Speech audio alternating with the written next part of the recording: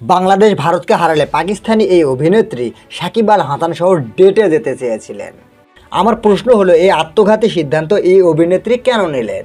যেখানে আমরা বাংলাদেশিরাই জানি আমরা বাংলাদেশেরা হারবো। তখন আমার আবেগে কাজ করছে বিবেক কাজ করে নাই। বিশ্বকাপ শুরু আগে থেকেই চলছে নানা ভবিষ্যৎবাণী আর অনুমান। কোন দল চ্যাম্পিয়ন হতে পারে বা কারাই বা সেরা চারে খেলবে? সেরা চারে ভারত অস্ট্রেলিয়া ইংল্যান্ড পাকিস্তান ও নিউজিল্যান্ডের নামে বলেছেন বেশিরভাগ খেলাপ্রেমিক কিন্তু তলানির দিকে কোন চারটি দল থাকতে পারে? এমন প্রশ্নটাই করা হয়েছিল ভারতের উইকেট কিপার ব্যাটার দীনেশ কার্তিককে। দীনেশ কার্তিকের মতে, তলানিতে থাকা চার দলের একটি হবে বাংলাদেশ। এখনও ছয় ম্যাচ বাকি থাকলেও বাংলাদেশ খুব একটা ভালো করবে না বলে মনে করেন এই দীনেশ কার্তিক। বাংলাদেশ কীভাবে ভালো করবে? ভালো, গ্রহণযোগ্য, সম্মান, এগুলো শব্দের সাথে বাংলাদেশ অপরিচিত। বাংলাদেশ ক্রিকেটের সমস্যা না। বাংলাদেশ ক্রিকেট লিগের সমস্যা তাদের মাথায়।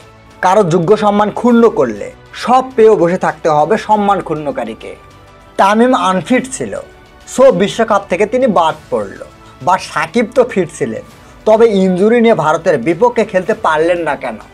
বস নিয়তির খেলা। টিট ফর ট্যাট ভাবছিলাম বাংলাদেশে খেলা আর দেখবই না। কিন্তু খেলা চলাকালীন অন্য কাজগুলো আমার ভালোই লাগছিল না। সো জেনে শুনেই যুদ্ধে হার মেনে নিলাম। একেবারে বিনা প্রতিদ্বন্দ্বিতায়।